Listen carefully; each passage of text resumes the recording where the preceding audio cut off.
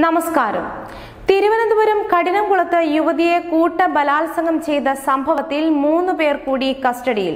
യുവതിയുടെ ഭർത്താവിനെ നേരത്തെ കസ്റ്റഡിയിൽ എടുത്തിരുന്നു.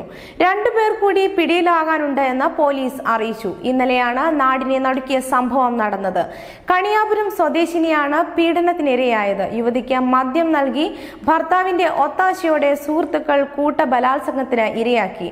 പോത്തൻകോട്ടെ വീട്ടിൽ നിന്ന് വൈകിട്ട് നാലു മണിയോടെ ഭർത്താവ് വാഹനത്തിൽ കയറി പുതുക്കുറിശ്ശിയിൽ കൊണ്ടുപോയി. അവിടെ വെച്ച് ആറു പേർ അടങ്ങുന്ന സംഘം യുവതിക്ക് നിർബന്ധിച്ച മദ്യം നൽകി കൂട്ട ബലാത്സംഗം ചെയ്യുകയായിരുന്നു.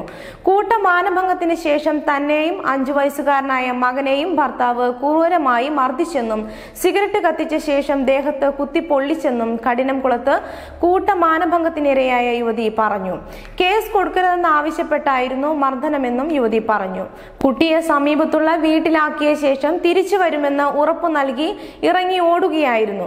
ഉപദ്രവിച്ചവരെ മുൻപ് പരിചയമില്ല. എന്നാൽ ഭർത്താവ് അവരുടെ പേരുകൾ പറയുന്നത് കേട്ടിട്ടുണ്ട്. കണ്ടാൽ തിരിച്ചറിയാം. പുതുക്കുറിശിയിലെ വീട്ടിൽ വെച്ചാണ് മദ്യം നൽകിയത്. അവിടെ മദ്യസൽക്കാരം നടക്കുമ്പോൾ വീട്ടുടമയുടെ ഭാര്യയും ഒപ്പമുണ്ടായിരുന്നു. ഇന്നലെ വൈകിട്ട് നാലരയോടെ യുവതിയെ വാഹനത്തിൽ കയറ്റി മറ്റൊരിടത്ത് കൊണ്ടുപോയി നിർബന്ധിച്ച് മദ്യം കുടിപ്പിച്ച ശേഷമാണ് ഭർത്താവും ആറ് സുഹൃത്തുക്കളും ചേർന്ന് പീഡിപ്പിച്ചത്.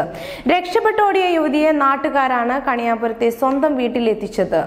ചിറയൻകീഴ് ആശുപത്രിയിൽ ചികിത്സയിൽ കഴിയുകയാണ് യുവതി. ഭർത്താവും മൂന്ന് സുഹൃത്തുക്കളും ഇപ്പോൾ police കസ്റ്റഡിയിലാണ്. News desk vision India mobile T Kochi.